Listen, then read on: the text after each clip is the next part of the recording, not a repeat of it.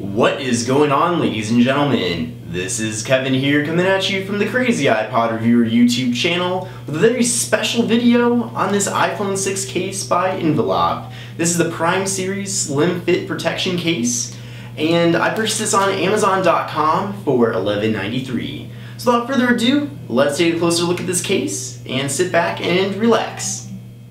Invellop is not really a phone case manufacturer that I'm very familiar with. This is actually my first Invellop case I've had the privilege of checking out, but I really wanted to buy it for you guys so that you could really get a nice idea of the quality, and so that once you order the case and get it in the mail, there won't be any surprises because after watching this video, you'll know what to expect. So let's cut it on open here. It just came in this nice sealed bag.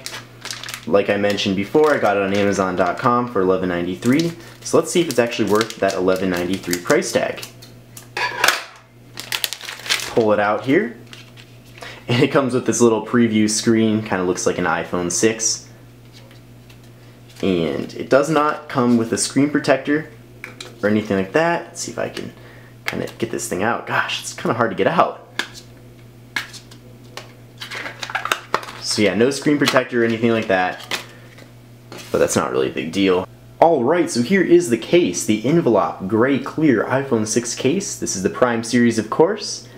So my first impressions are quite positive. It seems like a nice quality case. It's definitely hard on the outsides. This is something that you're not going to have to, I don't know, it depends. Some people like it when the case is very hard, others don't, but it's not flexible at all. Unlike this other case here that I reviewed in the previous video from Omaker, this is very flexible, whereas this case is very stiff. This case has a kind of frosted outside on it, and then we do have this black band going around the sides here. So it gives you a nice contrast there. It's definitely stylish looking. You can see down in the corner here we do have the Invellop logo. Looking down at the bottom, we have plenty of room for most of the ports except for the port right here for the 3.5 millimeter headphone jack. That's one thing that really bugs me about iPhone cases is that they don't always give you a lot of room and this looks really small. If you have a really big jack that you're to plug in, something professional grade, something high quality, you might have to remove this case first in order to plug in. It's definitely something you might want to think about. If you have an auxiliary jack that you use all the time, then this might not be the case for you. If you're a photographer, however, there's plenty of room here so that your flash and everything like that and the camera lens are nicely exposed. The volume rockers seem a little stiff. We have the hole right here for this, um, the mute button, and the sleep wake button is right here on this side. So let's now put the iPhone 6 inside of the case, and the installation isn't really that complicated. You usually want to go in first with the this side because it has the most buttons, and then just kind of shimmy it on in.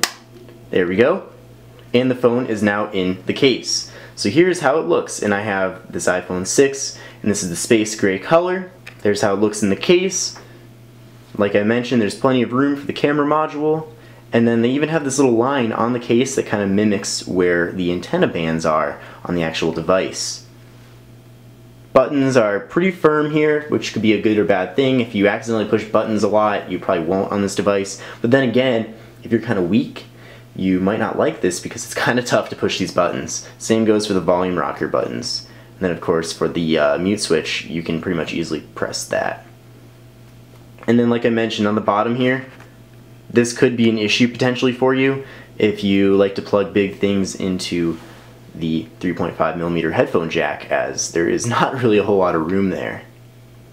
So what's my final verdict on this case? Well after taking a look at it, I don't know if it's necessarily worth the 11.93 price tag. It's not bad by any means, but it's not something that I would personally love. I don't really see this protecting very much. There's not a huge lip here. That's always important to see how much lip there is in case you want to lay this uh, face down. But there's some room, but not a ton of room. Now that other case I was showing you, that Omaker case, I much would prefer that, and that's actually $2 cheaper on Amazon. And I prefer that because it's more flexible, it's easier to take on and off. I'm definitely a person that likes to put different cases on at different times. You might be that way too. Well, if you have a phone like this, it's a little harder. Not too hard to take off the case, but decently difficult. And yeah, I like the way that everything's kind of fancy and organized. It doesn't look cheap, doesn't feel cheap, but just kind of the aesthetics of it aren't quite my preference.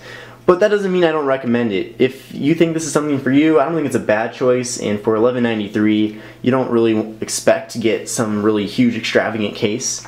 I think for $11.93, it's priced pretty fairly, but you might want to look at other options as well. And fortunately on my YouTube channel I have dozens of iPhone 6 case reviews so that you can really scurry through all of those and make a nice educated choice for yourself.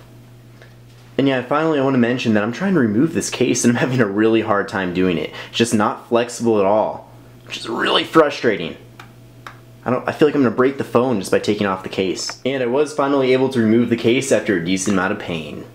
So if you're someone who bites your fingernails or something, I don't, but if you do and you have very short fingernails, this might not be a case for you. You might want to consider that. Once again, thank you very much for watching this video on this iPhone 6 case from Invellop. If you are a company and you're interested in sending me out a product review, please make sure to send me an email at my email address, which is crazyiPodReviewer at AOL.com. If you're new to the channel, you should definitely consider hitting that subscribe button as it's a great way to show your support and you won't miss any of my future videos. Also, hit me up on social media at facebook.com slash crazyiPodReviewer and instagram.com slash crazyiPodReviewer. Also, thumb up the video, have a great day, and I will see you in the next video. Thank you very much.